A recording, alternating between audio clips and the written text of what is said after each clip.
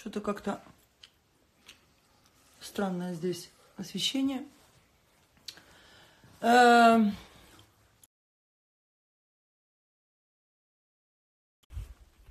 Как-то мне сегодня особенно грустно.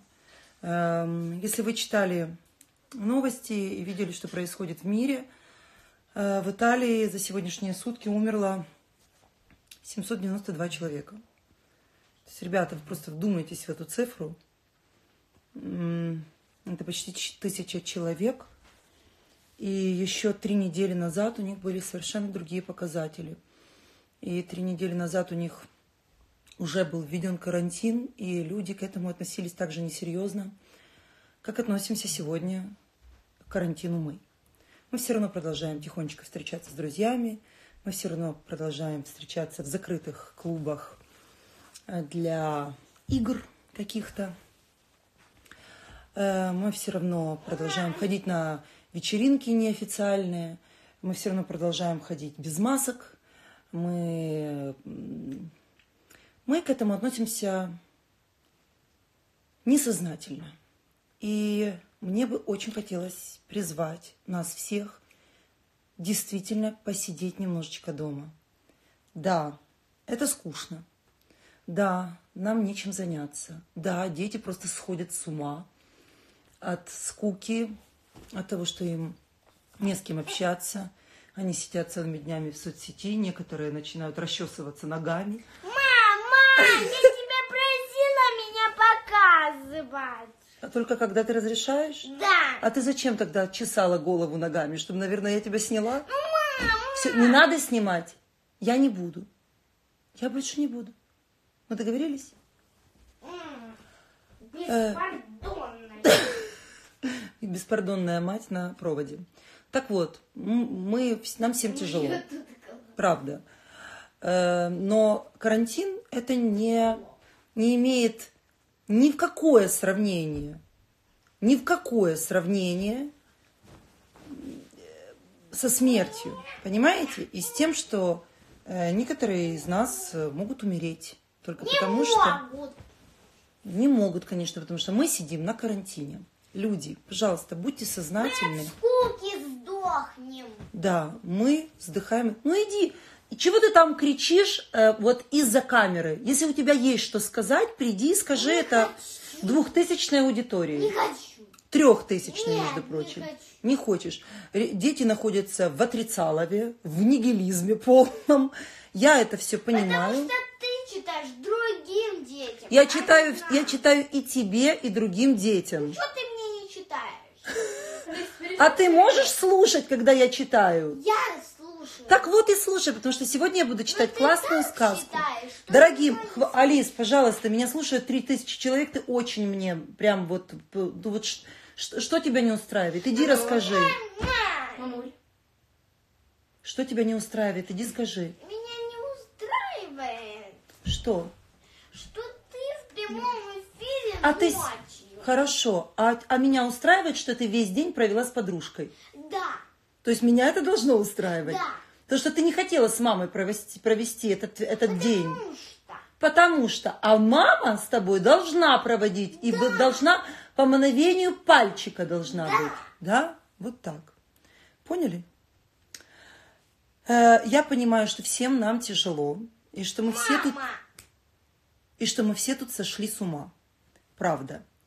Но э, мы должны подумать о том, что сейчас не идет разговор о скуке, не идет разговор о еще, чем, еще о чем-то.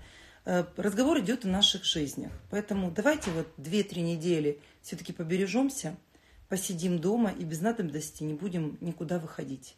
Потому что то, что происходит в Киеве, то, что я вижу, нам всем как-то наплевать. Полные парки детей, полные площадки детские, заполненные детьми, никто не носит маски. Э, Всем все все равно. И вот эти вот рассказы про то, что это все надумано, что это все преувеличено, что на самом деле нету таких жертв, а кто их видел. Я просто вот только что я посмотрела эфир с Машей Ефросининой и со, со Светланой э, Токори, которая живет в Милане, и как вот э, она рассказывает о том, что три недели назад у них тоже никто не относился к этому нормально. но сегодня они несут просто какие-то невероятные жертвы. Э, Теперь о хорошем. Все-таки давайте как-то развлекать наших детей. Мой в совершенном находится раздрае. Э, С ней происходит что-то невероятное. Че, я нормально.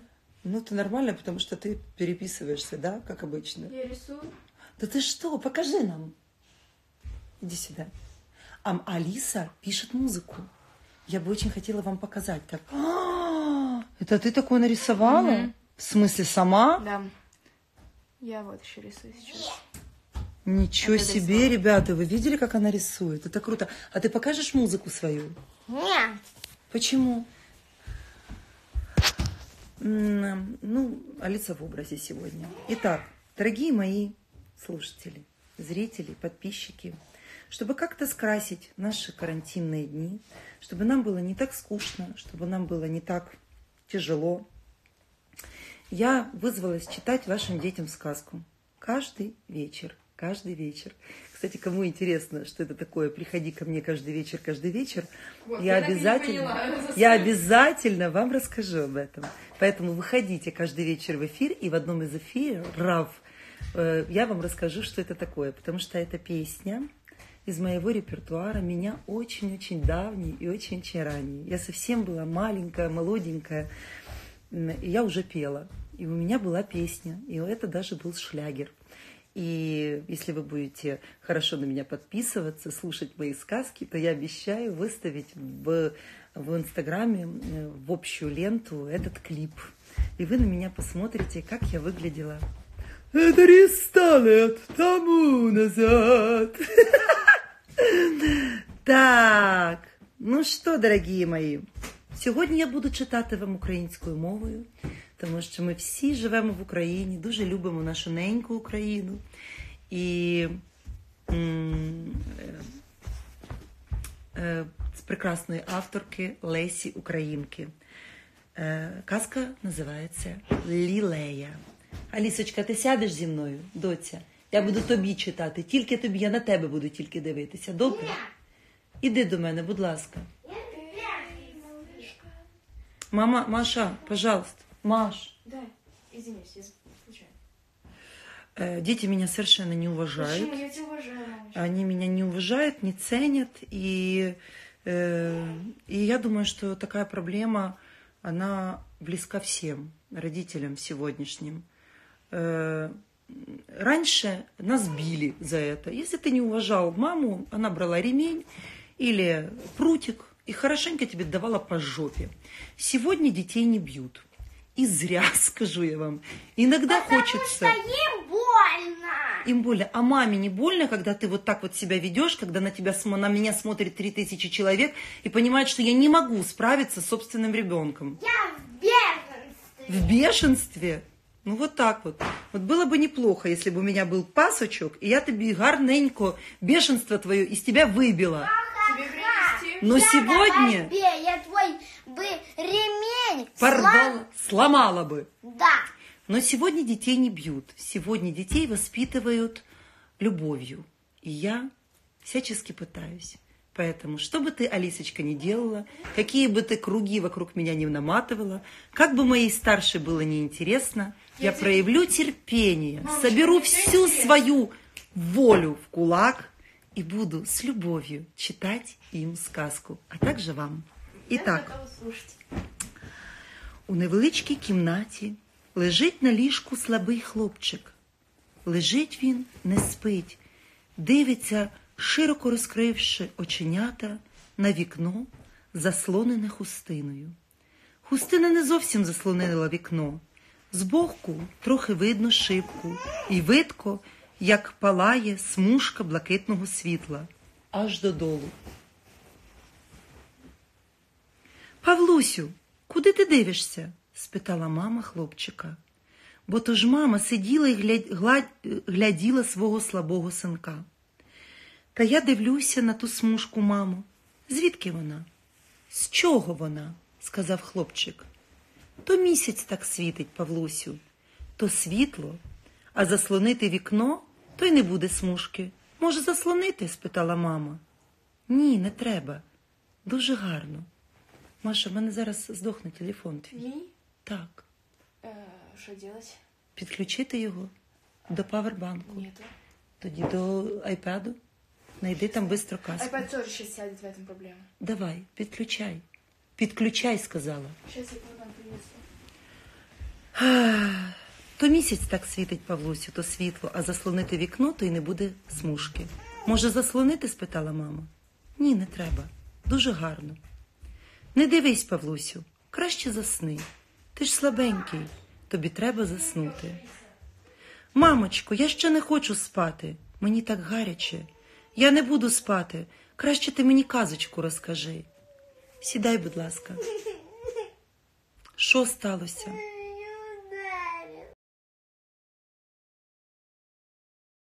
Перед цим її вдарила? Да? Она тебя не толкала. М, Ты иди сюда, пожалуйста. Ребята, я не можу читати вам книжку, тому що мої діти розбіглися.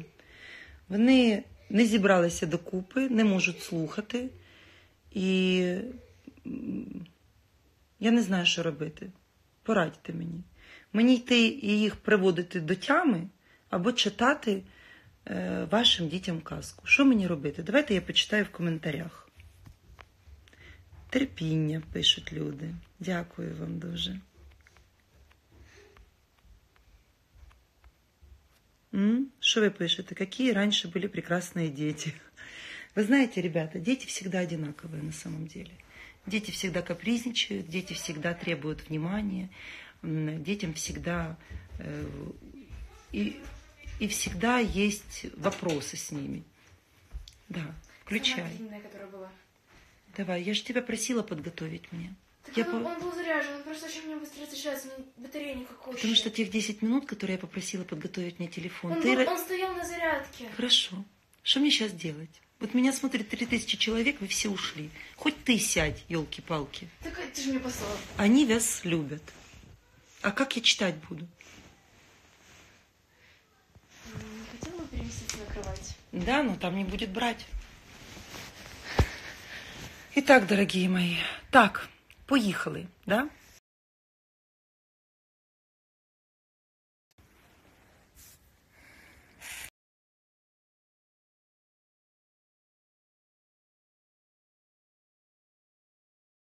Хорошо.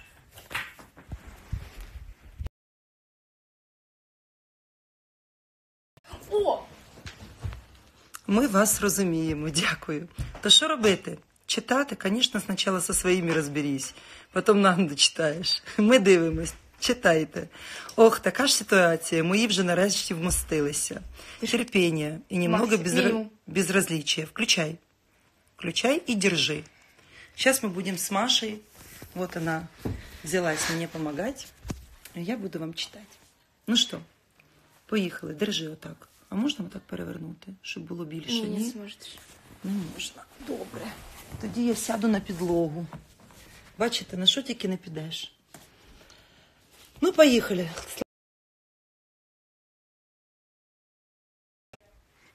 Слабий хлопчик лежить в кроваті і дивиться у віконце. Читаємо далі. «Е, Мамочко, я ще не хочу спати. Мені так гаряче. Я не буду спати. Краще ти мені казочку розкажи. Яку ж тобі, моя дитина, казочку розказати? А от колись мені розказувала про тих маленьких діточок, що живуть у квітках. Вони звуться ельфи. Ти казала, що в кожній квітці живе маленький ельф, бо ельфа або ельфа, що вони, що вони щоночі виходять з квіток і грають, танцюють, співають. Мамо, а яка найстарша ельфа? Ти ж казала, що у них є цариця. Яка вона? Вона, Павлусю, зветься Лілея, бо живе у самій найкращій лілеї в світі. В якій квітці ельф живе, то так і зветься, як та квітка. Мамочко, голубочко, почав просити Павлусь, розкажи мені щонебудь про тих ельфів. Я так люблю, як ти про них мені розказуєш. Ні, Павлусю, вже пізно. Ті казки казати, нехай но завтра вдень, а то тепер тобі спати пора. Ця казка довга, все одно тепер не скінчу, то ти все будеш думати про неї. Та й до світу не заснеш. От краще я заслоню від тебе свічку, то ти собі спатимеш, а завтра встанеш здоровенький, і будемо тоді казки казати, і все гаразд буде. Спи, мій хлоп'ятко. Мама заслонила свічку великою книжкою, щоб світло не падало Павлусеві в очі. Поцілувала Павлуся, мовивши добраніч, а сама сіла на крісло біля його ліжка з шиттям в руках і ждала, поки він засне. Але Павлусь не спав. Він давів, дивився, як мама шиє.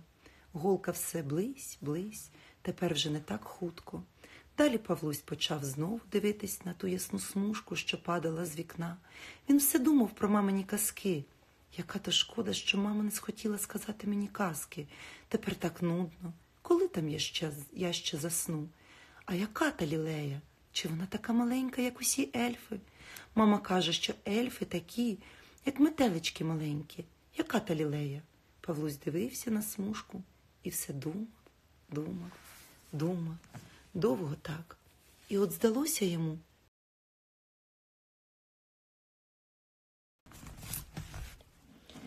І от здалося йому, що смужка та застремтіла і почала темніти, мов би хто заслонив її тінню. Павлусь подивився трохи, глянув, коли бачить, аж проти нього стоїть якась постать, немов людська. Він спершу злякався трохи, потім же бачить, що то щось зовсім не страшне, таке маленьке, немов якась дівчинка малесенька. От він нічого, перестав боятися. Дивиться на ту дівчинку, а вона така гарненька, Оч, очиці такі ясні, кучері, довгі, сріблясті, сама вона в білій, прозорій штаті, на головці малесенька золота коронка, ще й крильцята має хороші та барвисті, як у метелика, так їм міняться різними барвами, немов та веселка, а в рученятах у дівчинки довге стебло, квітка білої лілеї, і пахне вона на всю хату. Павлусь глянув на дівчинку і зараз якось пізнав, що це цариця Лілея, і він же так хотів її побачити. Ти Лілея? спитав він у дівчинки. Так, я Лілея. Я чула, як ти про мене розпитував. От я й прийшла до тебе. Ти радий? Радий, радий, дуже радий, покликнув Павлусь і простяг до неї обидві руки. Лілея усміхнулась так любо, аж в хаті ясніше стало, і місячна смужка порожевіла. Як же я полечу? Хіба в мене є крила, як у тебе? сказав Павлусь. Я не вмію літати. Ну, то я тебе візьму на руки. Ти ж така маленька, а я більш від тебе, я тяжкий. То нічого, сказала Лілея, і знов усміхнулась. Потім торкнула Павлуся квіткою своєю, і раптом Павлусь почув, як він сам зробився квіткою, тільки не лілеєю, а рожевим маком. От лілея взяла його в ручку, притулила до себе і швиденько вилетіла з хати в садок. Всі квіти в садочку склонились перед нею і захиталися. З них почали вилітати мал... маленькі діточки, ельфи. Спіть, спіть, сказала Лілея їм. Сієї ночі я не маю часу бути з вами. Ельфи повлітали знов у квітки. Квітки постулялись і поснули. Ну, Павлусю, куди ж ми полетимо? спитала Лілея. Куди хочеш, відповів, відповів Павлусь, бо він хоч і зробився квіткою, однак міг словами говорити. Понесу ж тебе он у той панський садок, що на горі. Там ростуть мої сестри, молодші лілеї. Може, вони нам щось цікавого розкажуть. І лілея знялася, угору швидко-швидко полинула далі, спустилась у панський великий сад. В саду стояв пишний палац. У деяких вікнах в палаці було світло. Видно, пани ще не спали, але в саду не було нікого. Лілея стала просто у квітнику, а там же а там же толі ле, лелій білих сила. Тихо-тихо так стоять і не хитаються. Ото сплять, гукнула на них лілея, і не чують, що ми коло них. А вставайте лишень ви. І лілея торкнула їх своєю квіткою. Раптом всі лілеї захиталися і заговорили. З кожної квітки виглянуло бліденьке личко ельфика. Вибачай, царице, сестрице, забриніли вони, якби ти знала, як ми пізно поснули. А чого ви пізно засипляєте? Хто ж вам спати не дає? гнівно лілея спитала. Ох, нам же нема спокою ні вдень, ні вночі. Ох, бідні ми квіти. А що вам таке? Чого ви бідкаєтесь? Де ж нам не бідкатись? У нас полюють, руками займають, листя обривають, а часом і віку збавляють, гострим ножем, стинають, несуть нас у велику хату, у панську палату, поставлять у воду, гублять нашу вроду. Ох, сестриця, скільки нас погинуло, любий світ покинула. От було недавно свято, кільки ж нас було потято. Бідні, бідні мої сестриці, мовила журавливо лілея, а в очах слізоньки заблистіли. Що ж, мої любі? Зате маєте вигоду, гладять вас, жалують, втішаються вами, поки ви в садочку, життя ваше красне. Ой, не красне, воно не красне, життя наше нещасне. Скільки в садочку стояли, щастя долі не знали. Заряжен. Ні, не заряжен. Можна? Так, тихо, тихо. Темненької ночі ми до сну охочі, голівоньки схилили біленькі. Де візьме, де візьметься панство вельможне, заможне, паничі, панятами молоденькі, веселі співи, гучні музики, бучні не дають нам спати до півночі. Нащо нам вигода такого догода? Ми зовсім до неї не охочі. Замовкли бідні лилеї і низько посхиляли свої білі голівеньки. Коли се очинилися в палаці великі скляні двері, і вийшла молода панна, убрана в хорошу білу сукню. Вона сіла на ганку і якось неохоче дивилася на той садок, залитий місячним сяйвом. Ах, як голова болить, мовила вона сама до себе. Навіть по ночах спати не можу. А все знудів я знаю, де ж, де ж таки гину тут на безлюдді, в селі, сидіти цілий день, як заклята, нема з ким і слова мовити. Правда, увечері гості приїздять, але й то такі гості, вони вже мені набридли. Та мені тут все обридло, і цей садок, і цей дім, і квітки. Все у нас не цікаве. От хоч би ці квітки. Хто ж їх не видав?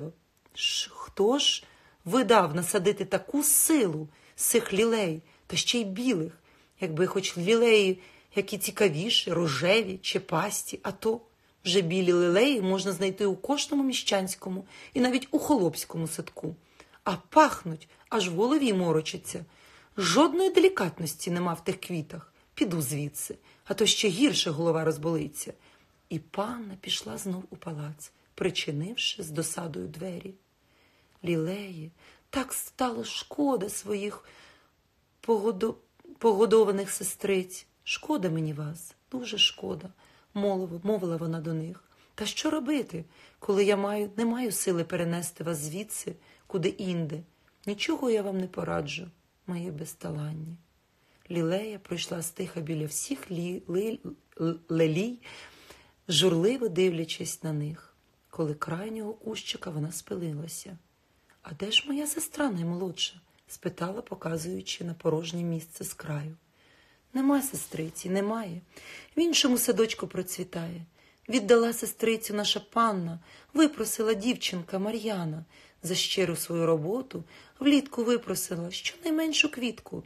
Немає сестриці, в іншому садочку процвітає. Треба буде її відвідати. Як вона там в іншому садочку мається? мовила Лілея. Хотіла ще про щось розпитати, але Павлусь просив її летіти далі. Сказав, що йому тут не весело. Лілея засмутила його своїми розповідями.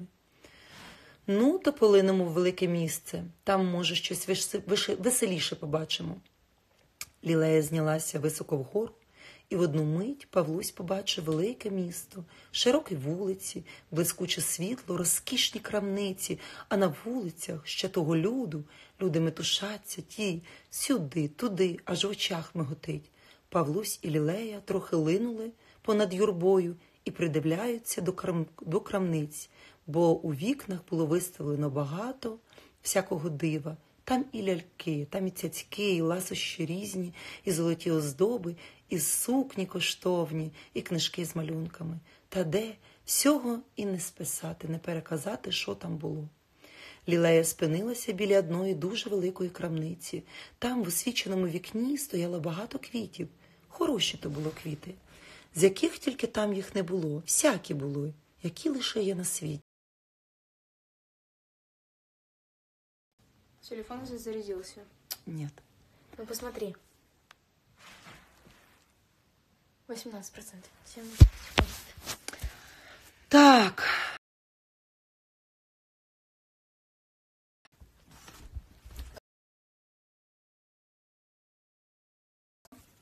У мене дуже сильно глючить телефон, але я продовжую.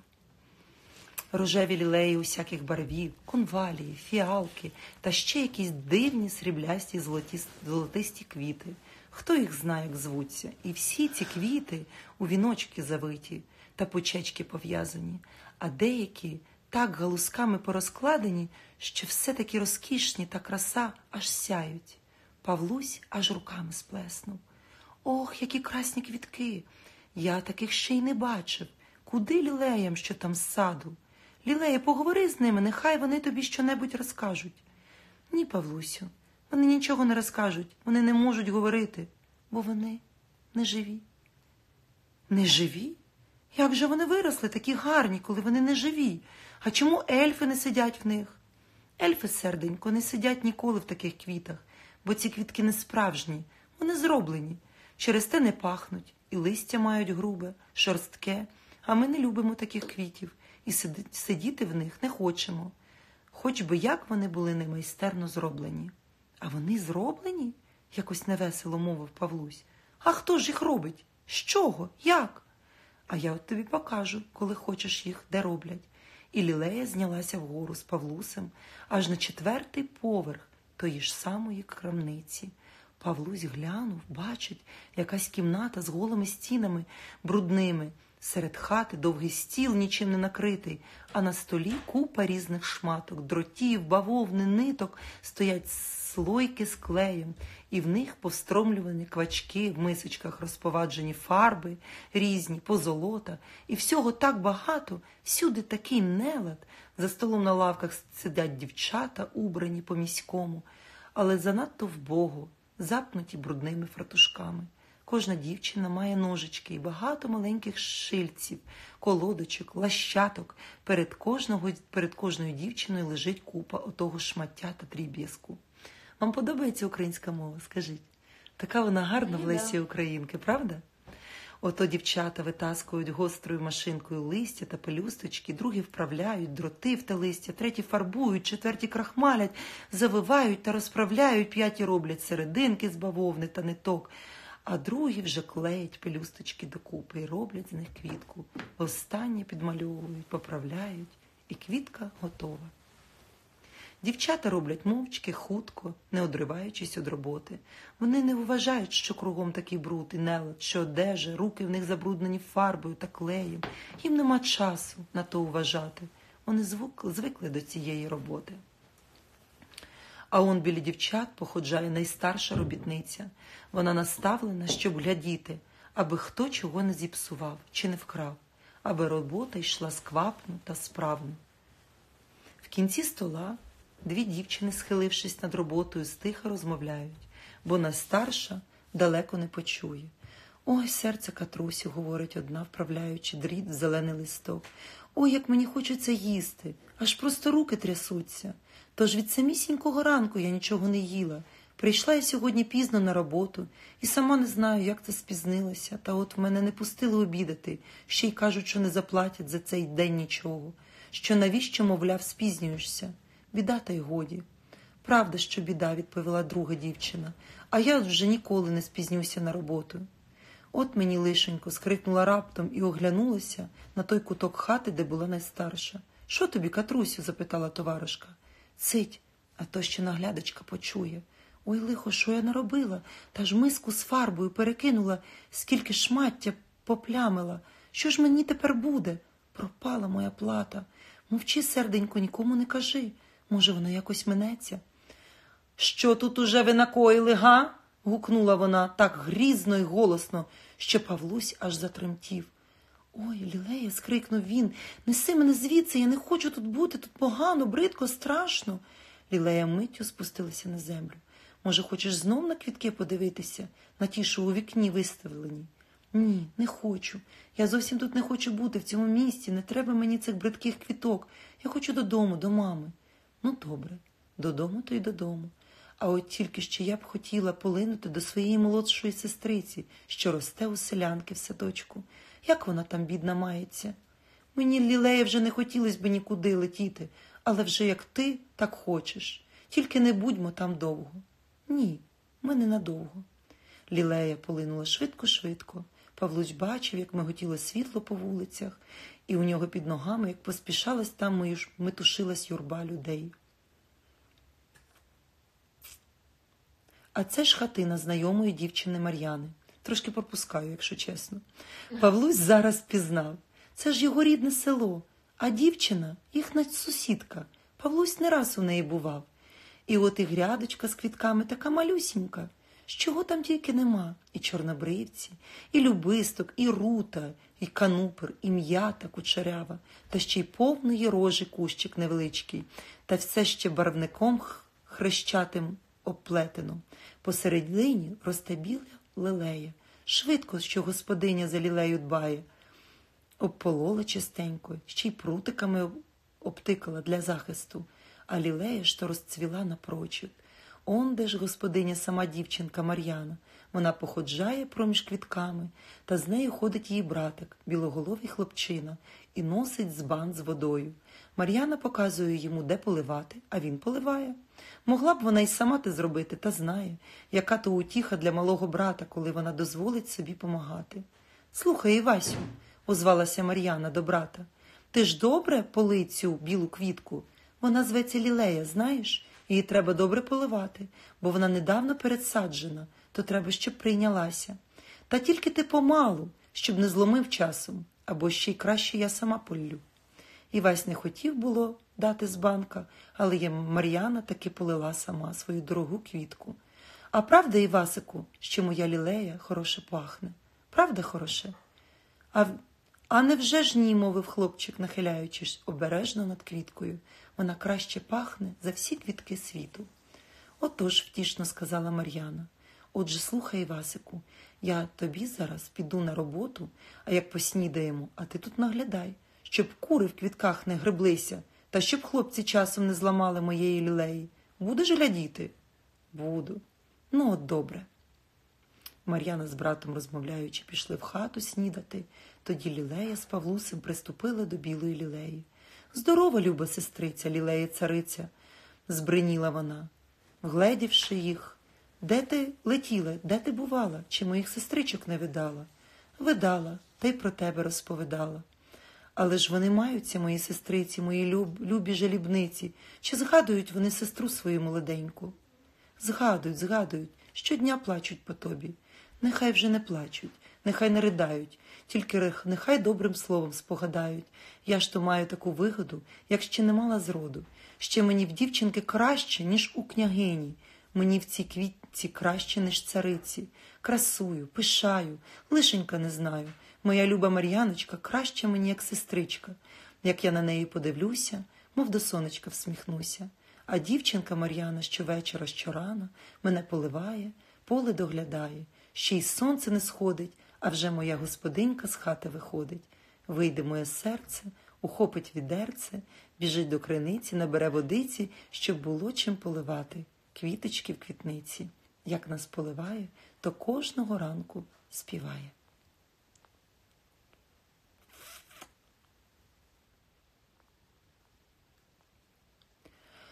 Так співала, розповідала молоденька Лілея, а цариця Лілея слухала та всміхалася радісно. Так то же вона й раділа, що її сестриця така щаслива і така мила своїй господині. Приступила вона до сестри, торкнула її своєю квіткою, що мала в руках, і промовила Рости ж, Лілея, розкішна краса, щоб була доля щасна. Раптом та молоденька лілея виросла висока-висока, і квітки на ній дивно розцвілися і спалахнули світлом сріблясто-рожевим. На листі засвітилася діамантова роса і різними барвами замиготіла, заграла і зникла. Павлусь глянув, аж він у своїй кімнатці лежить на ліжку. Лілея, скрикнув він, я ще не хочу додому. Я хочу знову той садочок, неси мене. Лілея стояла перед ним рожева, мов хмарка на сходинці сонця. Ні, люби, мовила, нехай іншим часом, на сей раз досить. Мені ніколи ще, мені ще, мені ніколи, ще маю багато роботи. Он вже день, прощай і будь здоровий. Лілея торкнула його квіткою, потім нахилилася, поцілувала, кивнула голівкою і зникла. Павлусь простяг до неї руки і хотів голосно гукнути. І прокинувся. Дивиться, аж сонячний теплий промінь послав просто йому у очі.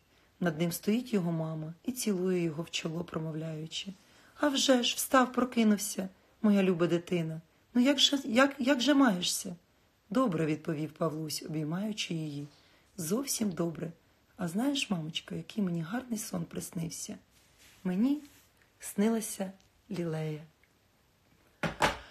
Фух, нелегко то було, тому що українська мова кольорова, і читати на ній було трошки мені заскладно. Але я думаю, що я впоралася з завданням. Вам сподобалося? Вам сподобалося, надіюся. Така гарна, красива, чарівна казка на ніч. Дуже вас цілую. Сидіть вдома, не гуляйте, не лазьте ніде, бо коронавірус не спить. І це серйозна справа. На добраніч.